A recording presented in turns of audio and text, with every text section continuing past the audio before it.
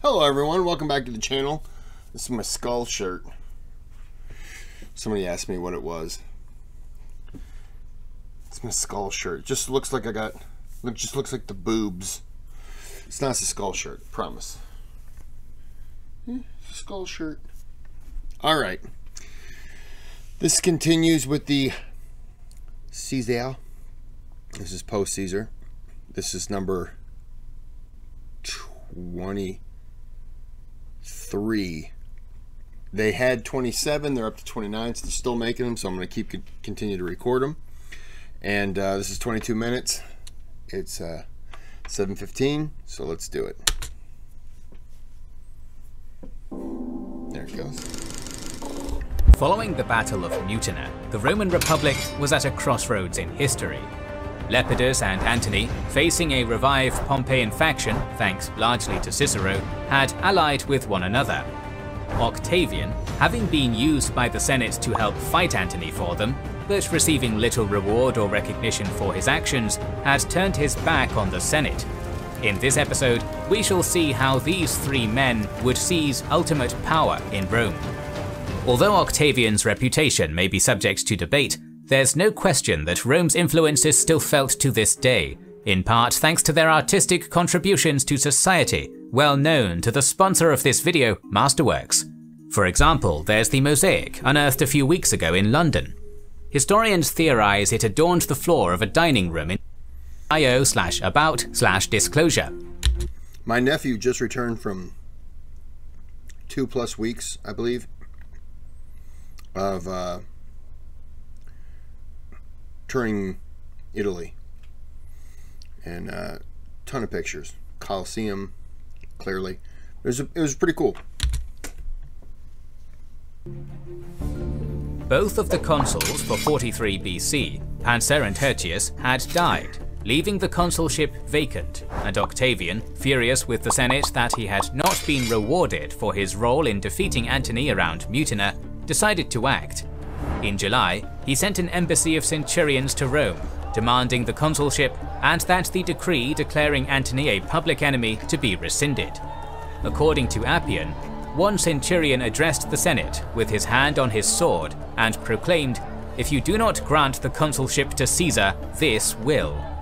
The Senate refused, pointing out that Octavian was too young to legally hold the office.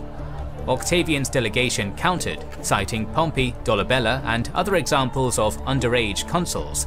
Still, the Senate refused. Octavian's men demanded that he march on Rome to claim the consulship. This is yet another clear example of how symbiotic the relationship between a general and his men was in the Roman Republic. The soldiers gave the general power, which in turn led to political power, while a general's political power was tied directly to how effectively and luxuriously he would be able to reward his soldiers. Octavian's men demanding he march on Rome should not therefore be seen as an act of political idealism, but more motivated by the knowledge that if their general was made consul, they could expect far greater rewards. Octavian gladly accepted their petition, marching kind of self-preservation. Not self-preservation. That's not what I'm thinking of. But the the enrichment of their own lives. You know, kind of thing. Eight legions across the Rubicon toward Rome. Caught between the Senate and Antony, it was now clear that Octavian had made his choice of which side he would join. History was repeating itself, with yet another Caesar, which was now Octavian's legal name, marching on Rome. The panicked Senate sent messengers to Octavian saying that he would be granted full command of the army and the right to run for the consulship. However, almost immediately, the senators became ashamed for caving in to blackmail. Two legions that had been sent from Africa to assist in the war against Antony had just arrived in the city, and there was still one legion that had been left by Pansa to protect the city. Cicero rallied the Senate, revoking the previous offer to Octavian. The legions were prepared to defend Rome, and the city was fortified. Octavian's negotiation with the Senate's ambassadors was interrupted by a second delegation rescinding the offer. Immediately, he marched his force to Rome, encamping on the Campus Martius. Seeing the vast force assembled against them, two of the three legions in Rome lost heart, defecting to him. The senators had oh. been brave to try and organize a defense of the city, but the popularity and power of Octavian was simply too great. Shortly after this, rumors circulated that two of Octavian's legions had defected, and some senators once again tried to raise legions to confront him, however the rumors were false. In all likeliness, Octavian himself had been the source of the rumor, seeking to establish who his main opponents in the city were. All of them would be proscribed. Elections for the consulship were held, and to nobody's surprise, Octavian was elected alongside Pedius, Caesar's legate, who funded his young heir during the early struggle with Antony. Octavian immediately set about holding trials for those linked to the conspiracy against Caesar, including some men who had not even been in the city at the time. All were unanimously found guilty in the courts presided over by Octavian. One praetor who voted for acquittal would later be proscribed by Octavian. Another was rumoured to be plotting to assassinate Octavian and was sent on a ship to be exiled in Africa. The ship never arrived though, disappearing en route. This was just a taste of what was to come. Octavian would not show mercy to his enemies. Meanwhile, the forces Wow.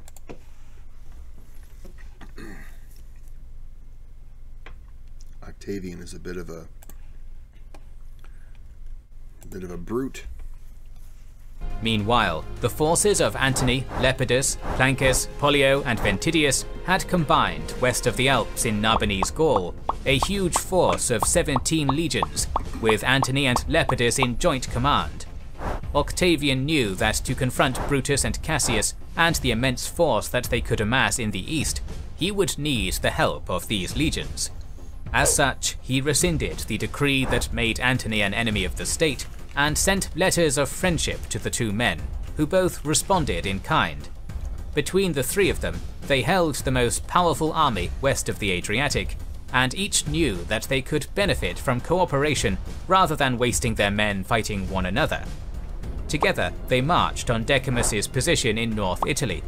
Decimus's legionaries, seeing the writing on the wall, began to abandon him in droves, many turning to either Antony or Octavian. In desperation, Decimus attempted to flee to Macedonia with just his bodyguard, taking a long route through barbarian lands to the north, disguising himself as a Gaul to avoid detection. A Gallic chieftain, loyal to Antony, captured him in September, however, and Decimus was beheaded. It was a severe blow to the Pompeian faction. Decimus had been one of Caesar's most talented subordinates, and was one of the best generals on the Pompeian side. With his death, the Italian peninsula was now effectively in control of the Caesarians. In Italy, in October 43, Antony, Lepidus and Octavian met on a small island in the Lavinius River, with five legions apiece lining the riverbanks. On that small island, they held one of the most important meetings in human history. It was agreed that Octavian would resign his consulship, Ventidius taking his place. Instead, three new magistrate positions with almost limitless powers would be created. The trio would hold these offices together for an initial five years, could make and annul laws without approval from the Senate or people, and would name the other magistrates for the next five years, and their decisions would be immune from veto. The three men each effectively would hold the same powers as Caesar had. The provinces west of the Adriatic were also to be divided amongst the three, Antony having control over Transalpine and Cisalpine Gaul, Lepidus all of Hispania and Narbonese Gaul, and Octavian Africa, Sardinia, Sicily and surrounding islands. It's clear from this division that Octavian was the junior partner. Gaul and Hispania were two of the most sought after provinces, the former for its potential for expansion, the latter for its rich silver mines. Octavian's territory, on the other hand, had little to offer. Moreover, Sicily was contested by Sextus Pompey, and a strong Pompeian presence persisted in Africa. Although he carried a powerful name through his adopted father, Octavian was still not as powerful as his fellow triumvirs. Military plans were also laid down. Lepidus would remain in Rome with three legions, while Antony and Octavian would lead the main force to Greece to confront Brutus and Cassius. More darkly, they also planned the proscriptions list, an idea made infamous by the dictator Sulla. A proscription list was a collection of names that was posted publicly. Any man whose name was on the list immediately had their property declared confiscated by the state and was condemned to death. Effectively, state-approved murders. During the last series of proscriptions under Sulla in 83 BC, a young Julius Caesar had been forced into hiding and may well have been proscribed himself. It was partly for this reason that Caesar had refused to carry out similar purges during his dictatorship. Antony, Lepidus and Octavian were of a different generation, however.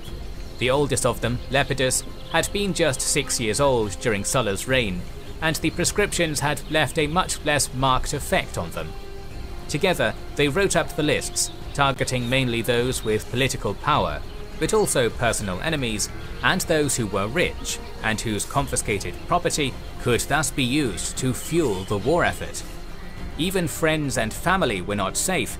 Antony's uncle Lucius was added to the list, as was Lepidus's brother. Cicero, the one-time mentor and ally of Octavian, was also proscribed, though Octavian wow. did apparently try to argue against this for two days before relenting. It is important to note here that Cassius Dio and Paterculus claim that Octavian only took part because he held similar authority, that he was effectively unwilling, showing himself later to be a merciful man, and that he tried to save many from the proscriptions. However, other sources, such as Appian and Plutarch, do not say this, in their accounts, all three men were equally culpable. Dio is well known as being overly flattering to Octavian as a result of his position as a senator in the empire, and thus having a vested interest in having a sympathetic view of the emperor. Paterculus has similar problems, serving during Octavian's reign as emperor under Octavian's grandson, and thus having a personal investment in glorifying him. Their views have proved persistent but the accounts may well be apologist revisionism, and Appian and Plutarch do not offer the same excuses, both putting Octavian on the same level as Antony and Lepidus. Indeed, Appian says that the terrors that would be inflicted on Rome during this time were all the more remarkable precisely because of Octavian's participation, and Plutarch described the trio as having made a barter of murder for murder. Within just three days, the three men had planned how to take full control of the Senate, planned a war against the liberators, and had planned the deaths of 300 senators, about a third of the Senate, and 2,000 knights. Unofficially, the Second Triumvirate had just been formed. After the negotiation, Wow.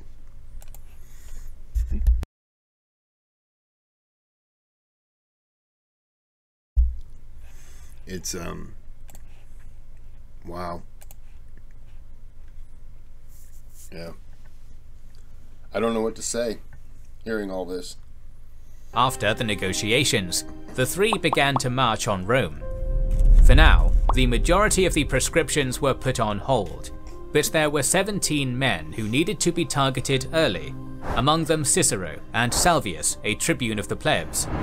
Cicero, who held the sympathy of the public, managed to elude his hunters, while Salvius was not so lucky. He was found hosting a banquet when soldiers burst in, ordering the guests to remain in their positions, and beheaded the tribune, leaving his guests reclining in shock next to his beheaded corpse. Panic gripped the city shortly afterwards, and Pedius, one of the consuls of the year, publicized the names of the 17 men the Triumvirs were hunting, attempting to reassure the public that only those 17 were listed. Pedius died the following day, reportedly of, quote, political fatigue, unquote. But it is not hard to think that he was murdered for having revealed the 17 names. Cicero, having tried to escape Italy by sea, had grown sick and was forced to make land he was soon found near his villa in Formiae, being carried in a litter. His slaves and other locals had lied about his location to protect him, but he had finally been betrayed by a local shoemaker. A centurion, who Cicero had previously defended, found the now 63-year-old orator. He accepted his death, offering his neck, and was executed. Cicero had been the voice of the Republic. Whether one agrees or disagrees with his actions or politics, he was a brave man who when surrounded by swords tried to defend his republic with a pen. In the words of Paterculus, you took from Marcus Cicero a few anxious days, a few senile years, a life which would have been more wretched under your dominion than was his death in your triumvirate. But you did not rob him of his fame, the glory of his deeds and words. Nay, you but enhanced them. He lives and will continue to live in the memory of the ages, and so long as the universe shall endure, this universe, which he saw with eye of his mind, grasped with his intellect, and illuminated with his eloquence, shall be accompanied by the fame of Cicero. He knew he was going to be a martyr in a way. So, yeah. His head and his hands, with which he'd written such damning speeches against Antony, were nailed to the rostra where he had given so many speeches. The triumvirs entered Rome over three days, each bringing a bodyguard and legion, completely disregarding the law prohibiting arms in the city. A tribune of the plebs, Publius Titius, proposed the law that would give extraordinary powers to Antony, Lepidus and Octavian. With their legions and bodyguard prowling the city, the bill was swiftly passed. The Second Triumvirate was now legally established. Overnight, lists appeared in the Forum with the names of the condemned. A reward was also offered, 2,500 denarii for each head of a proscribed man brought to the triumvirs. Rewards were also offered for information on a wanted man's location, while any person harboring a fugitive would also be added to the list. The gates of Rome were blocked by soldiers, and the proscriptions began in earnest. Appian's account of the proscriptions is harrowing. Men hid in sewers, wells, chimneys, ovens, wherever they could, before being discovered, dragged out, and executed by their hunters. One man even hid himself in a dung heap. The soldiers, disgusted and unwilling to reach in for him, simply stabbed the heap with spears until he emerged, then promptly beheaded him. Brothers holding on to one another were executed together in one swing of a sword. Shockingly, even children were not safe. Orphans whose parents had left them with large amounts of money were also added to the list. One was found at his school with his tutor. When the hunters burst into his classroom, the tutor tried to shield the young boy with his body, but both were cut down without mercy. Night after night, the proscription lists were expanded, so none truly knew if they were safe or not. Gangs roamed the city, looking for any of the proscribed, and any opportunity to loot abandoned houses. Fear was rampant. Wives, siblings, and friends informed on their loved ones. I'm getting angry now. Like, I want these three to die brutally. I mean, I want them to be tied and have horses just slowly rip them apart. Because that's not even good enough. Oh, I'm getting angry. You, you hunted down kids who were left with money. Really? Is that what we're doing now? And no one was sure who could be trusted. Even some children, eager for their inheritance, reported on their fathers. With so many being this is this is uh, this is basically North Korea. That's what this is. Being killed, many seized the opportunity to settle old scores, murdering their rivals under the pretense that they had been proscribed. Many simply gave in.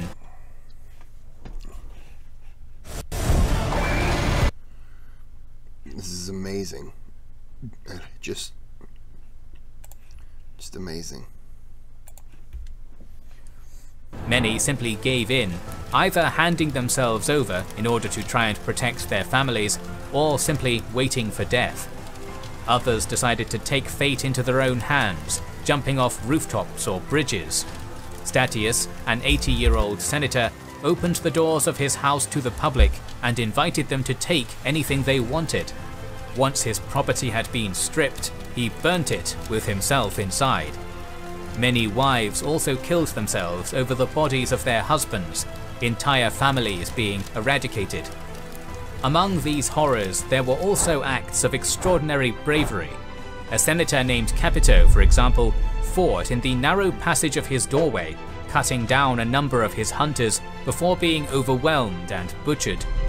Sons faked the deaths of their fathers and then smuggled them out, one carrying his elderly father on his shoulders. The slave of one senator, upon hearing that soldiers were coming for his master, swapped outfits with his master and took his place in his bed. The soldiers arrived and killed the slave where he lay, the senator dressed as a slave standing nearby. Oh Antony's mother, Julia, was outraged that her brother Lucius had been added to the list and confronted Antony, defiantly declaring that she would protect her brother and that he would have to kill her too if he wanted his uncle dead. Antony relented, Lucius's life being saved. When the Triumvirs announced an unheard of before tax upon women, Hortensia, the daughter of a famous lawyer, rallied the women and confronted the Triumvirs. She insisted that if Rome were fighting a foreign power, the women would gladly support the state. But in civil wars may we never contribute nor ever assist you against each other. Given the current political climate, it was an incredibly brave act. The Triumvirs needed money. And they let her live? and the confiscation of proscribed property was intended to solve this. Through such grisly methods, the Triumvirs accumulated huge amounts of property, but they struggled to sell them. Many of the richest men were now dead, and many were terrified to bid on the properties, Yeah. lest they also be seen as having money and Yeah. being added to the lists. Thanks to Hortensia, the tax on women was only enforced upon 400 of Rome's richest, forcing the Triumvirs to compensate by forcing male property owners to lend money to the state. Some men did escape the proscriptions, many flocking to the banners of Sextus Pompey in Sicily or Brutus and Cassius in the east. Sextus even went so far as to offer his own rewards for those that helped proscribed men escape to him. As a result, Sextus, whose situation so far had been rather weak, had an influx of powerful men into his faction, including many who had seen military service, greatly strengthening his position. With many of the most powerful men in Rome either dead or having fled the country, Antony, Lepidus and Octavian were left in complete command of Rome. The proscriptions, which began in November of 43 BC, continued for months into 42 BC and cemented the Second Triumvirate as the masters of Rome. The first triumvirate, consisting of Crassus, Pompey and Caesar, had wielded power through the influence of the three men. It had been founded upon a base of mutual opportunism, had been largely bloodless, and while the three men unofficially ruled Rome, kept at least the facade of the Republican constitution. Even the dictatorship of Caesar had relied far more on the political alliances and debts created by Caesar than terror. The Second Triumvirate was different. It was ratified by law, effectively making Lepidus, Antony and Octavian simultaneous dictators in all but name, and was founded upon fear and death. The purges were appalling for people at the time. By these means, the Caesarian party had seized control of Rome. In the east, however, Brutus and Cassius had been raising a colossal army and consolidating their position. History once again was about to repeat itself, with the Caesarian and Pompeian parties again fighting a battle to decide Rome's fate in Greece. We will talk about this battle in our next episode, so make sure Oh, I hope those three get killed. Wow. Just amazing. Power grabs. It, it, it just it blows my mind what people will do. Ridiculous. I'm I'm angry right now. I'm going to be going to bed soon and I'm just going to dream about how much I hate these three. Okay, I'm gonna end this here. I hope you didn't mind me snacking on a big soft pretzel because you know I did it whether you liked it or not, and it was delicious. Okay, like and subscribe for more of this wacky content and angering content. And until the next video, you have a good night and have a good day. See what I did there?